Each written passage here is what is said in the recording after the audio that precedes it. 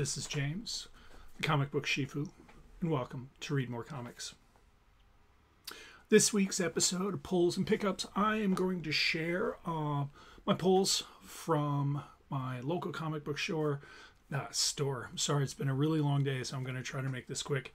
Uh, I also picked up uh, some books that they had been processing through a large collection that they picked up, uh, oh, a few months back. And then I also have a few eBay wins. Uh, to give you some idea of how busy the day's been, I haven't even been able to process my books. I haven't put them in CLZ yet. I have not even bagged and boarded them, though I did take off the original bags for the pickups I got at my LCS, the back issues. So we are going to start then with my pulls and then kind of progress from there.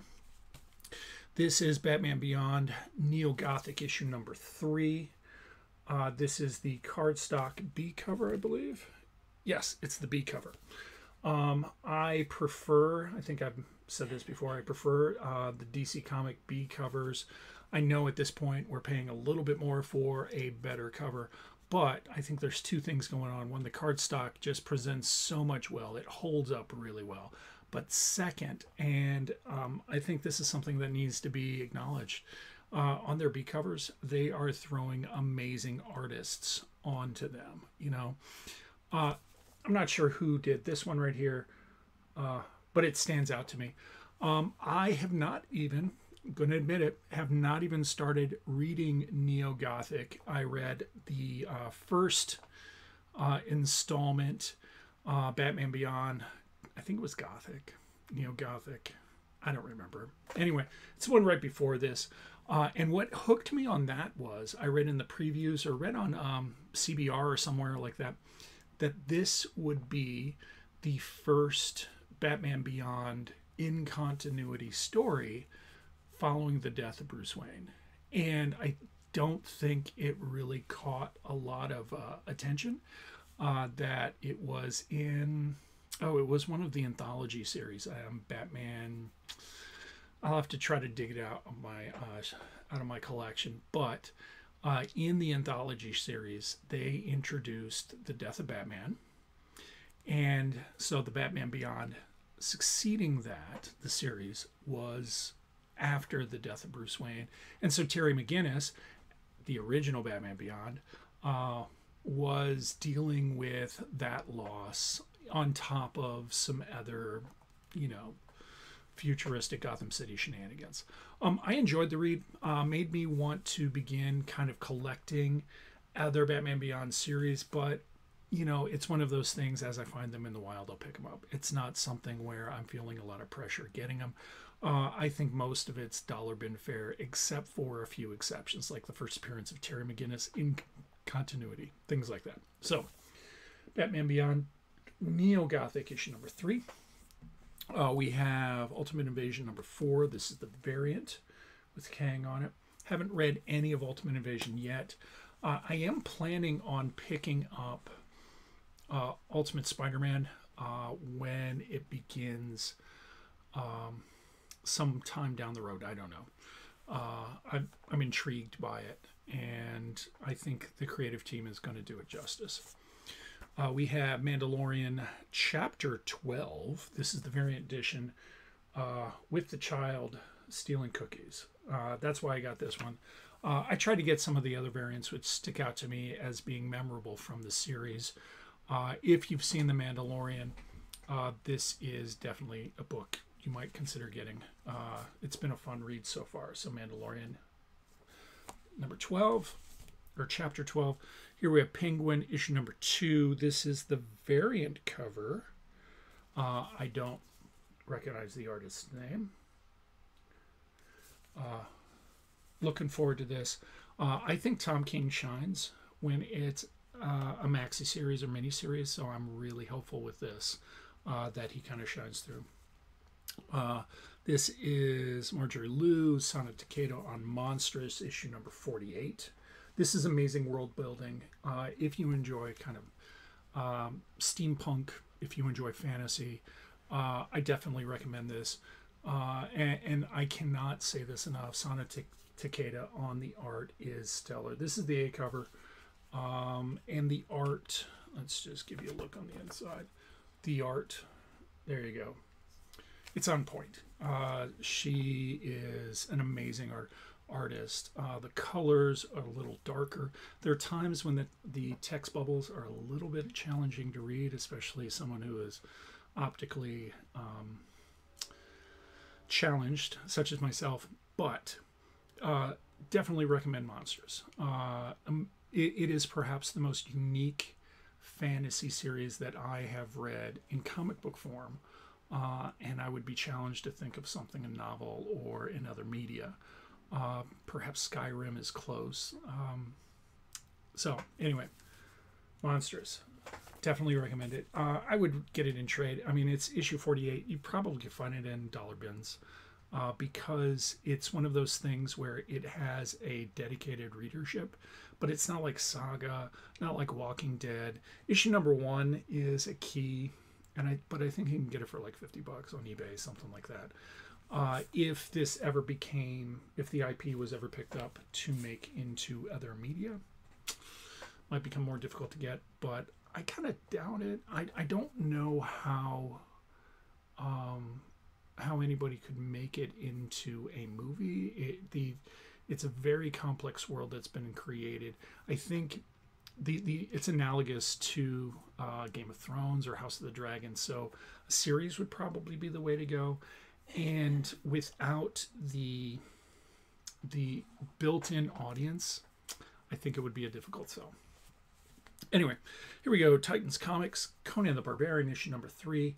This is the variant cover. I've been going for the vintage covers because I just love the old Conan, the Marvel box up there. Uh, this is a wonderful homage to Volume 1 of Marvel's Conan. Uh, if you are a fan of the Barbarian, Titan Comics will not let you down with this. Uh, this is one of those books where I read it month to month, where some of the other ones, like Monstress, I'm about five or six issues behind because I want to read a whole arc. This one I've been reading month to month. It's right at the top of my read pile, so highly recommend that. And then we have a Gotham War tie-in. This is the Red Hood tie-in. I went with variant cover, issue number one. Um, I think I'm a couple issues behind on this. I have a Batman issue, I have a Cat Catwoman issue, and then this. Uh, it's been a fun read so far as as an event goes, more of a crossover, I suppose. Uh, definitely worth your time if you enjoy Batman and Catwoman. Um, not a big fan of Red Hood. I'm not nothing against them. You know, uh, you can see over there I have the uh, Kotobukiya statue for New 52 of Red Hood, but it's just a little different. Anyway, so let's. Oh yeah, I got a couple of these. We got the Marvels previews. We got the DC previews, which I really appreciate that my LCS hands these out to people with pulled boxes because uh, it's kind of difficult sometimes to find all the places now that you need to go to to uh, see what at least the big two are coming out with in Previews World uh, since Diamond has lost distribution for not just DC and Marvel but a lot of the independents. Uh, I don't think they're pushing um, comics as well as they used to. You know, for example, um, IDW. Uh, some of the image books end up in a separate location instead of image at the top. Uh, some of the other smaller uh, companies, which used to have its own space, now they really don't. IDW is an example of that. Um, it is what it is. All right, so here are the back issues I pulled. First one, this is Star Wars Tales of the Dark Jedi. Oh, Tales of the Jedi, Dark Lords of the Sith, issue number one. First appearance of Exar Kun. Uh, he's a really cool Sith Lord. If you're into the non-canonical universe, what is it? Star Wars Legacy. Uh, and then if you've been keeping up with Ahsoka, you know where things are going, right? There's a lot of stuff out there on YouTube. You can check it out. Uh, I'll try to keep it spoiler free, but uh, I got Heirs of the Empire issue number two. Uh, and it's a nice clean copy. Uh, this should be the second appearance of Thrawn, which is very affordable. First appearance of Thrawn, not so much. That's kind of out of my budget. And it's not that I'm specking; these are books that I want as a part of my PC. Uh, I was able to collect um, Kanan the Last Padawan in between kind of peaks when there was kind of a lull before Ahsoka came out. Uh, was happy that I was able to get all issues of that uh, maxi series as a part of my personal collection because Star Wars Rebels was on point for me.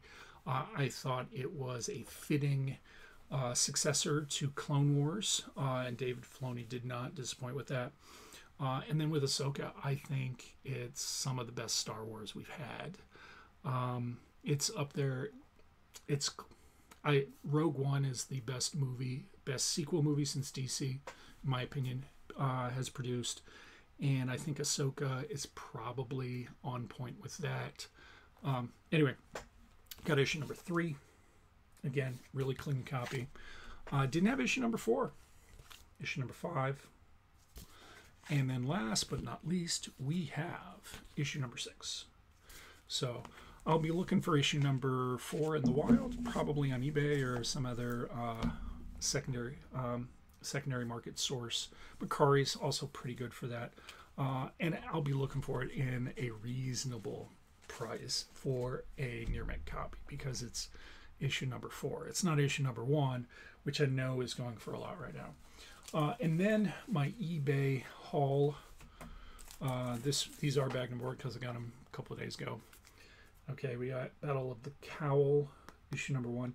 This is the first appearance of Damian Wayne as Bat uh, as Robin. Okay, and Damian Wayne is my favorite Robin. So I'm looking up for keys or minor keys just to add to the PC. So didn't realize these were connecting covers. So we got issue number one, issue number two. Excuse me, issue number three. All right. Um, last but not least, uh, in October, I am challenging myself with 30 days of Halloween covers. I'll be doing that as a YouTube short. Uh, and what my criteria is for Halloween cover, I am looking for homage covers to horror movie posters, number one. Uh, anything that says Halloween in the cover, number two. And then last, but probably just as important as the other three, anything that makes an allusion to the celebration of Halloween, trick or treating, etc. That's number three. All right. So, thank you for watching this video. If you enjoyed what you heard, please like, share, and subscribe. And thank you for watching this episode of Read More Comics.